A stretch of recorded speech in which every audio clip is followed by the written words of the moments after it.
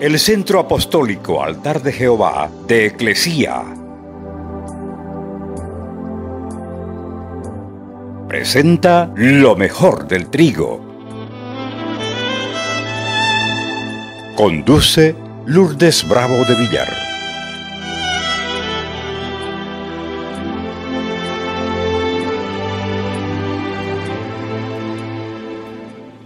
A la corte celestial no se entra livianamente. Ahí voy a estar en la corte, voy a hacer esto y esto. No. Se debe revisar los vestidos espirituales. Se debe revisar la justicia de Cristo, que son, que son vestidos de lino, dice, que son las acciones justas de los santos. Porque el enemigo tiene buen olfato ¿Huele a santidad o huele a pecado?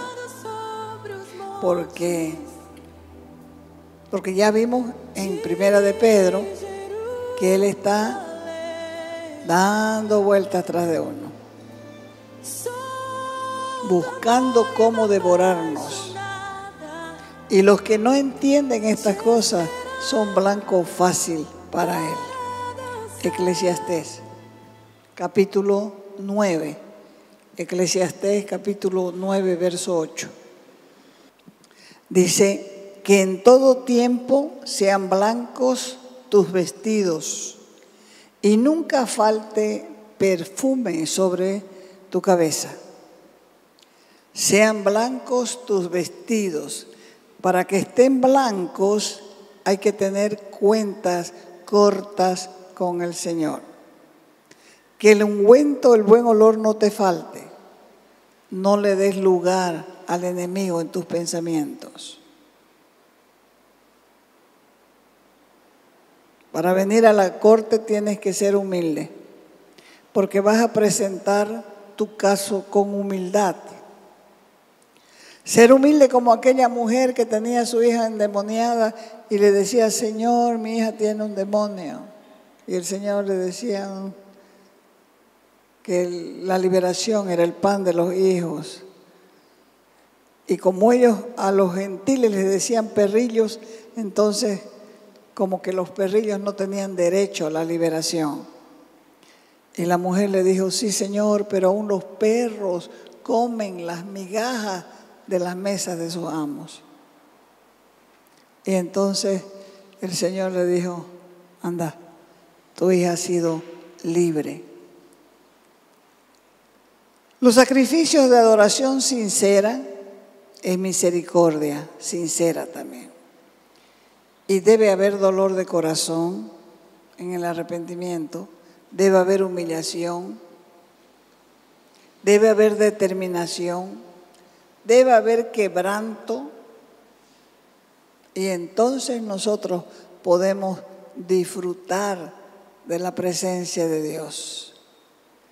Dios necesita que nuestros corazones ardan, humillados, arrepentidos, porque Él sabe que eso es lo único que va a hacer efecto. Ahora que nuestra nación está en crisis y las naciones están rumbo al fracaso. Tenemos que entrar a ver el rey como, como la reina Esther, porque la iglesia es comparada a la reina Esther. Tenemos que entrar con vestidos de reinas y de reyes, lavados pulcramente con la sangre, para que Él nos pueda extender su cetro de justicia, porque Él es rey de justicia y es un rey enamorado de su novia, pero de una novia que es humillada y limpiada y bañada con la sangre del cordero. No entren a la corte como los chanchos despreciando las perlas, porque van a ser condenados y les va a ir peor. Mayor va a ser la humillación, porque en la corte no se tolera ningún tipo de orgullo. A veces algunos de nuestros ancestros pueden ser padres, abuelos, bisabuelos, tatarabuelos, algunos de ellos han sido negligentes y han herido a alguien o han robado o han asesinado o han estafado o cualquier otra cosa. Y por esa causa hay un juicio en la corte en contra nuestra por la línea de la sangre y es por eso que no podemos avanzar. Si un ancestro de cualquiera de nosotros robó los sueños de alguien por fornicación, por sexo ilícito y anormal, por quitarle la virginidad engañando a una virgen, a una joven, o violando a un niño, a una niña, o provocando abortos, o asesinato, o idolatría, o brujería, o pacto satánico, abuso, etcétera, etcétera, el enemigo tiene derecho legal de romper tus sueños. En esto también tenemos, o de esto también tenemos que arrepentirnos. Pero es un nivel profundo de arrepentimiento para que se cierre el caso legal y decirle al Señor, perdona, nosotros perdonamos los pecados de ellos. Perdona tú nuestros pecados. Me arrepiento por lo que hizo mi padre, por lo que hizo mi abuelo, por lo que hizo mi bisabuelo. Me arrepiento, me da vergüenza. Cualquier cosa que hubiera hecho mi familia, me arrepiento. Y vas a sentir dolor. Vas a sentir cuando te arrepientas de verdad el dolor que sintieron esas personas. Y si nosotros supiéramos, quizás buscáramos a las personas para restaurar el daño. Pero muchas veces las personas ya no existen pero las consecuencias permanecen. Tanta jovencita que perdió la virginidad por un mentiroso que le dijo que se iba a casar con ella. Tantos niños que por cinco o diez bolivianos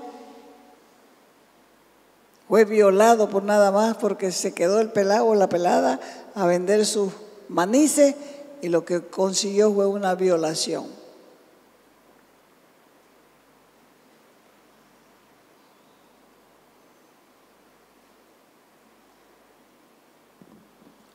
Tanto, tanto, tanto adulterio, tanto sexo ilícito, tanto sexo anormal, tanto aborto.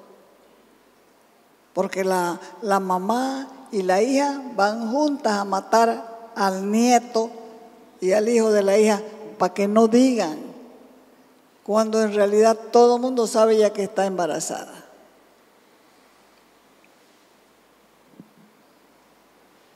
Los pactos satánicos, entregando a sus hijos por dinero, la brujería, la hechicería.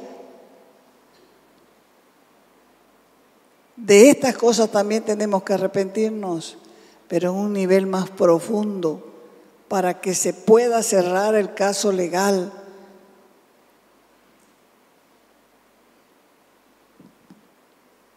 Y después del perdón, el caso va a ser removido. Y cuando hagas esto con entendimiento, sabrás que algo cambió dentro de vos. ¿Cuál es el problema del por qué no avanzamos? Años de años en la fe y en las mismas, tropezando con la misma piedra. Adulterio, fornicación, brujería, hechicería. ¿Por qué? ¿Cuál es el problema? Por el pecado de nuestros ancestros que le dieron al diablo un caso legal delante de las cortes celestiales y prácticamente estamos atados bajo juicio y por esa causa no podemos avanzar. Ese pecado negligente de nuestros ancestros hace que todo se nos atrase. Y puede uno quedarse esperando a menos que lidiemos con la iniquidad de nuestros ancestros. Todos tenemos iniquidad en nuestra línea de sangre. Yo recuerdo que al iniciarme en la fe, el Señor me dijo, estas tres cosas te vas a cuidar. Y me dio un sueño que yo vi los personajes de mi familia en las diferentes situaciones. Entonces, todos tenemos una historia. Y si el diablo no encuentra nada en contra nuestra con el pecado y la transgresión, va a buscar la línea de sangre de la iniquidad. Parece eh, cosa sencilla. Eh, bueno, dice uno, todos lo hacen. Y yo también. Total, todos lo hacen. Ahora están cosechando. ¿Y van a cosechar más después? Según la Biblia, sí. Porque la iniquidad en la línea sanguínea hace por lo menos cuatro cosas. La primera, le da el derecho al diablo a tentarte en un pecado particular. Si tus antepasados fueron culpables de cierto pecado, esos pecados le dan el derecho legal de tentarte en esa área. Y es probable también que las fortalezas estén conectadas. Por lo tanto, por eso es tu comportamiento. Y si no te arrepientes y cambias, prepárate para cosechar. ¿De dónde un niño de cuatro, de cuatro años le atrae las revistas de ropa interior? De cuatro años es su mayor atracción. La iniquidad de la línea de sangre, de ahí viene la tentación. ¿De dónde saca un joven el deseo de ver pornografía o películas de miedo? ¿De dónde? De la iniquidad de la línea de sangre, de ahí viene la tentación. Si a usted le encantó esas cosas, ya va su bebecito a los nueve años, va a estar en las mismas buscando películas de miedo y buscando pornografía. Muchos padres ven eso y como ellos han hecho lo mismo y nunca han puesto un freno, no le dicen, hijo, eso no sirve, te va a hacer daño. Y entonces la iniquidad continúa, de padre a hijo, de hijo a nieto, de nieto a bisnieto. Y uno dice, pero no es justo. Eso es lo que debemos pensar cuando vamos a pecar. No es justo. No es justo decir no voy a ir más a la iglesia y dejar a sus hijos así, que se críen como puedan, haciendo lo que vean en la internet.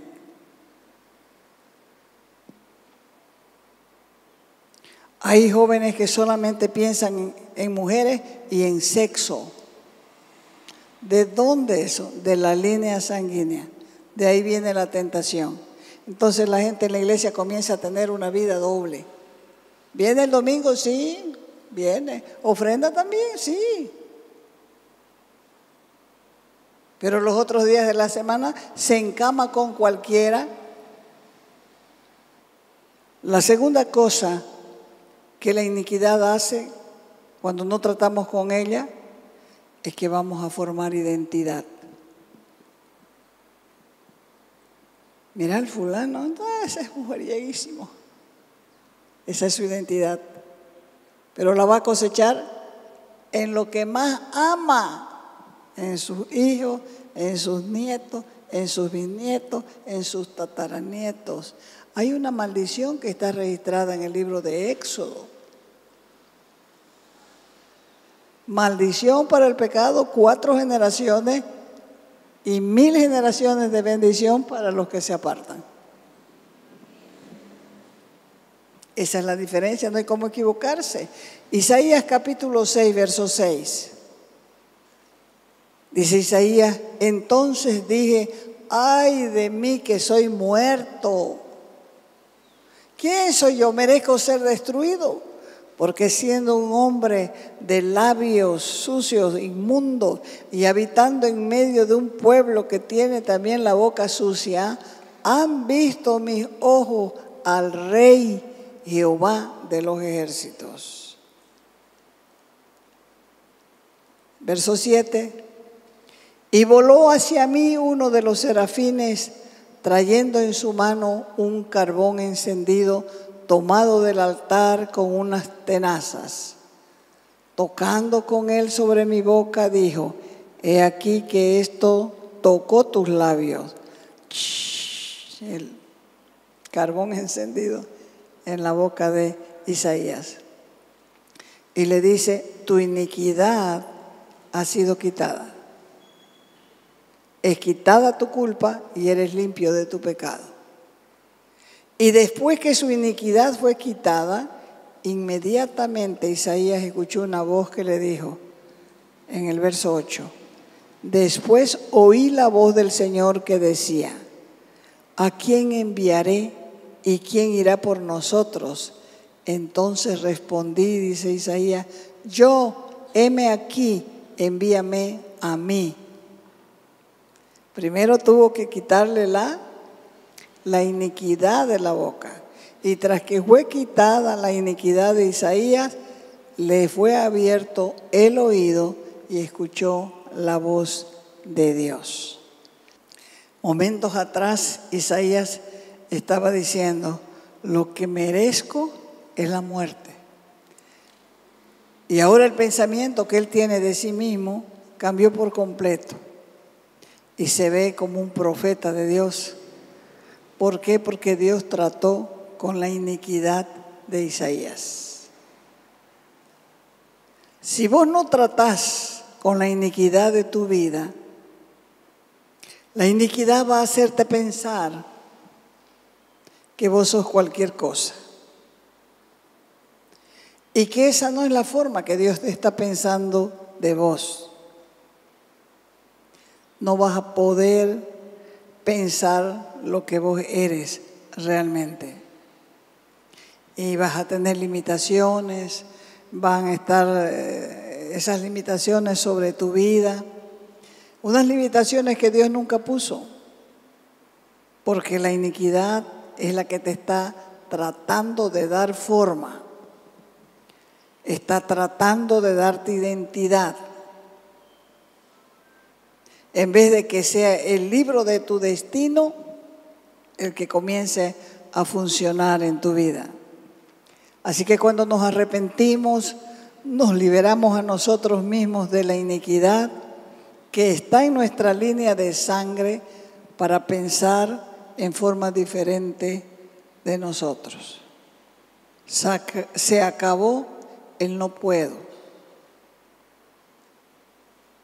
Porque está escrito, todo lo puedo en Cristo que me fortalece.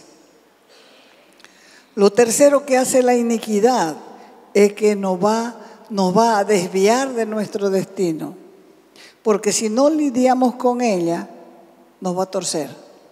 Salmo 139, 16. Mi embrión vieron tus ojos y en tu libro estaban escritas todas aquellas cosas que fueron luego formadas, sin faltar ni una de ellas. O sea que los pensamientos de Dios antes de que nosotros existiéramos, ya estábamos en su mente. Él nos conocía sabía cómo íbamos a hacer. Y las decisiones que tomó acerca de nosotros las escribió en un libro o las escribió en un rollo. Y ese rollo es nuestro destino y cada persona viene a este mundo con su rollo. Vos no comenzaste con un propósito divino el día que fuiste salvo, no. Tu propósito o escrito en el cielo antes que naciera. Cuando Dios pensó en vos, Él escribió, quiero este que sea así, que tenga eh, primero las características físicas, que sea crespita, que sea ojo verde, que sea de este tamaño y qué sé yo, allá. Pero junto con eso viene un rollo. Ese se llama nuestro destino profético, lo que Él quiere que nosotros seamos.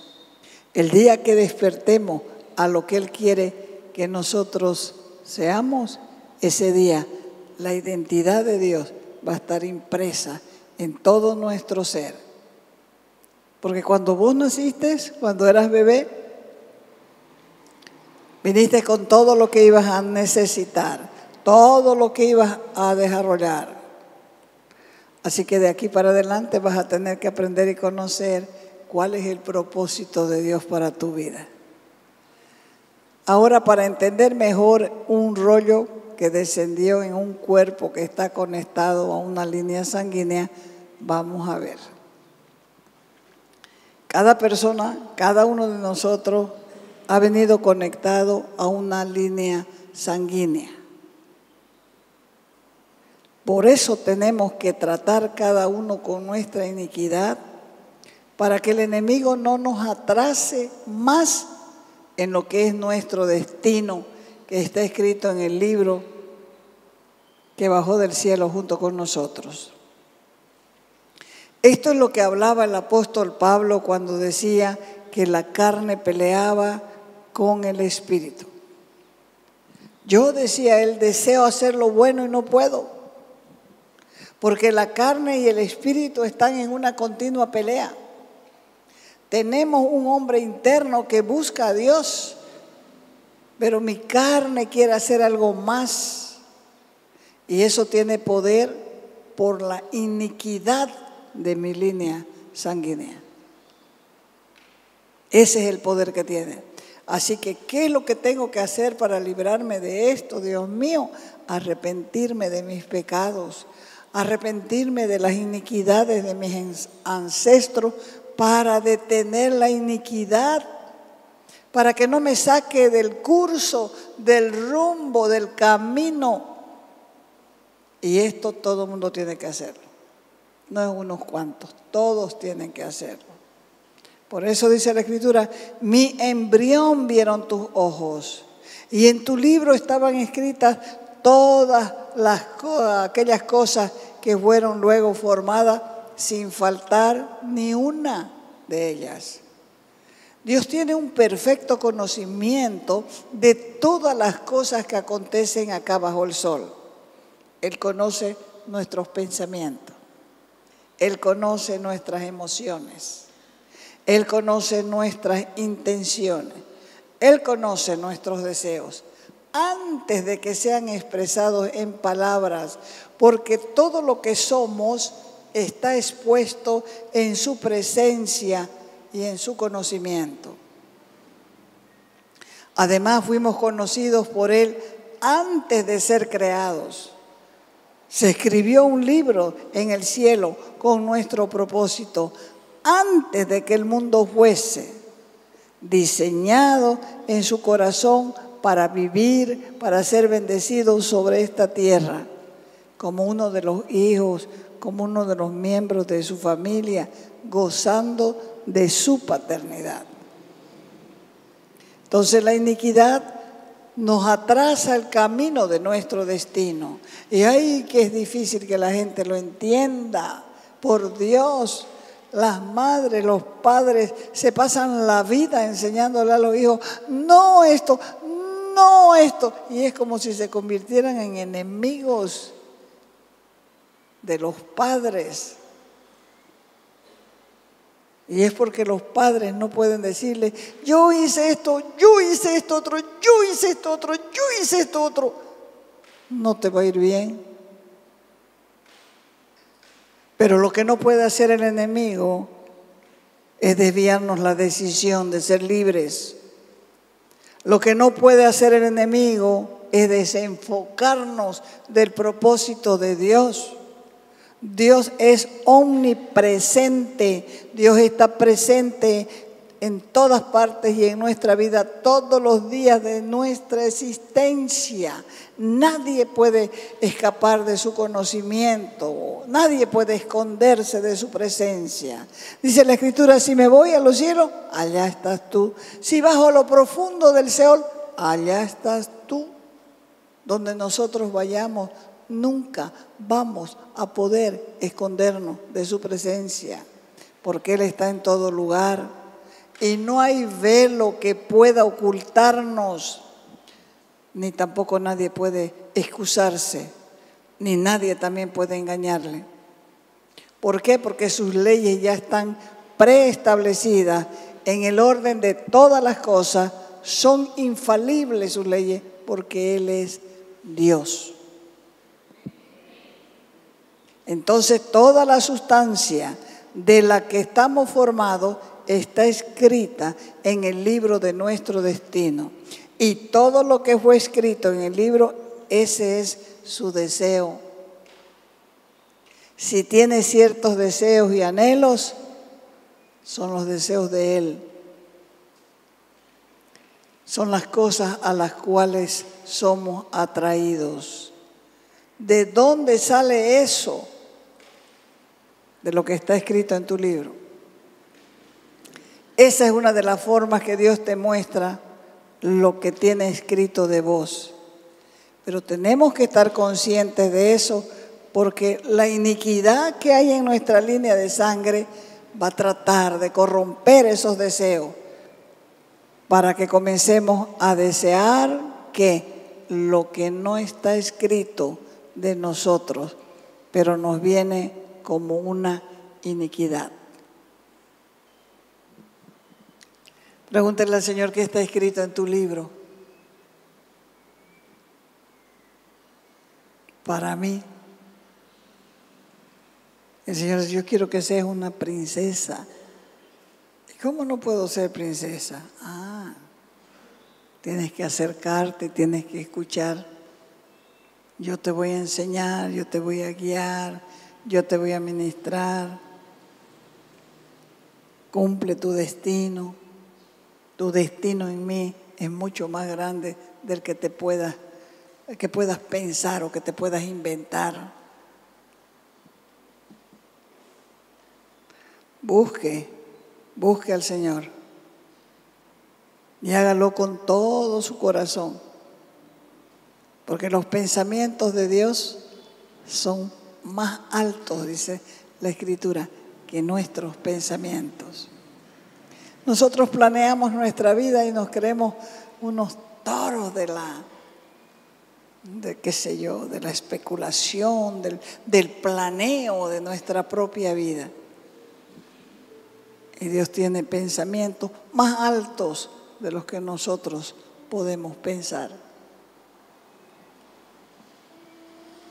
La iniquidad altera tu destino. Rompe con eso. ¿Y cómo voy a saber leer tu Biblia? Si a mí empezando me dijo estas tres cosas tienes que cuidarte. Ignorante en las cosas de Dios, ¿usted cree que a usted no le va a decir lo mismo? De esto tienes que cuidarte. Si a veces eso que tienes que cuidarte es un patrón de tu vida. Dios quiere hacer cosas buenas con nosotros. Dios quiere hacernos una congregación de multitudes, pero no todos quieren santidad en su vida. Les encanta llevar una doble vida. Y creen que nadie lo sabe todavía. Eso es más, lo más triste, la ignorancia. Pensar que nadie lo sabe Cuando Dios está tratando con el pueblo, está tratando. Dios quiere nuestro bien. Nunca está pensando, ah, esta se portó mal ahora, me la paga. Jamás. Siempre está hablándonos, susurrándonos, hablándonos en sueño, hablándonos a través de la palabra. Porque Él tiene pensamientos de bien. Para cada uno de nosotros. Te invitamos a nuestras reuniones los días viernes y sábado a las 6 de la tarde. Los domingos a las 10 de la mañana y a las 6 de la tarde. Calle Nicolás Suárez, esquina Félix Pinto.